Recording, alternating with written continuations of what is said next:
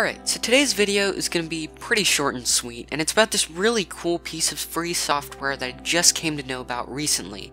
It's called Shutup 10, and what it does is exactly what its name suggests. It disables annoying features and telemetry in Windows. But without further ado, let's get into it.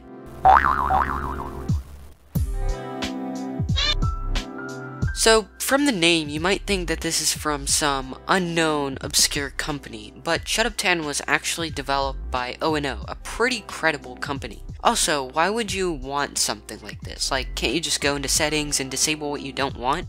Not really. To disable what Shutup 10 can disable by clicking a button, you would have to edit registry keys and whatnot, which can be pretty risky if you don't know what you're doing. Anyway, I'm not going to show you how to download it because there's nothing special about the process. Really, there's nothing special because it runs off the downloaded.exe file, no installation necessary, which is pretty awesome.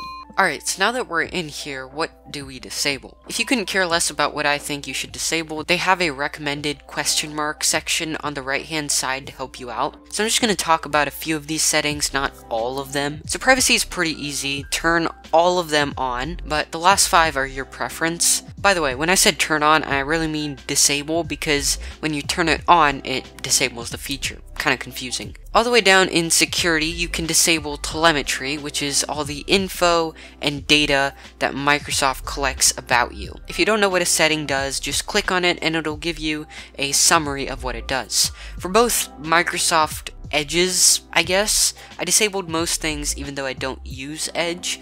I don't use Cortana at all, so I just disabled everything under that section. The most important one under Cortana was probably display web results in search. When I search for something in the start menu, I'm looking for a program or a setting.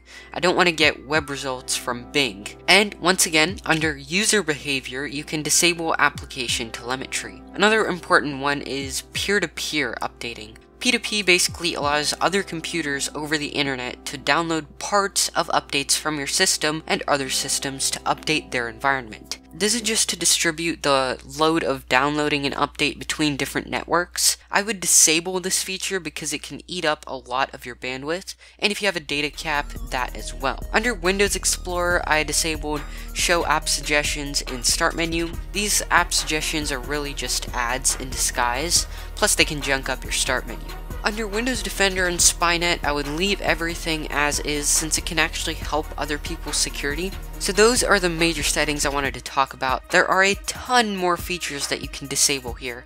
I just wanted to make a video on Shutup 10 because it's pretty cool. Anyway, hopefully this video was helpful for you guys, and if it was, drop a like and maybe consider getting subscribed so you don't miss tech content like this. But other than that, I will see you in the next video.